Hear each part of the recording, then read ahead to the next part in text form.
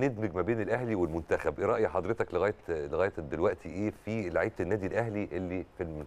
يعني بيلعبوا مع المنتخب؟ آه هم دلوقتي كلهم ماشيين كويس ب- طبعا الشناوي هايل ما شاء الله.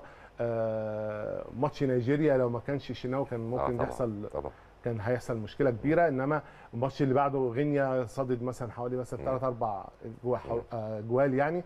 الشناوي ماشي بطريقة كويسة ماشي كويس جدا. آه، أكرم توفيق طبعا كان لغاية قبل ما يتصاب كان ماشي كويس جدا. نتمنى له طبعا الشفاء العاجل. طبعا.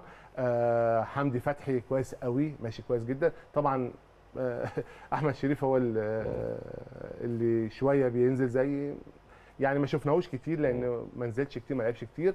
إنما أنا شايف إن لعيبة النادي الأهلي ماشية كويس لأن ده طبعا ده طبيعي جدا إن لعيبة النادي الأهلي وأكتر فرقة في في في, في مصر آه، فيها شارك عدد آه في طبعا عدد كبير جدا في المنتخب. آه فطبعا أنا شايف إن هم كويسين وماشيين كويس يعني ده طبيعي جدا يعني.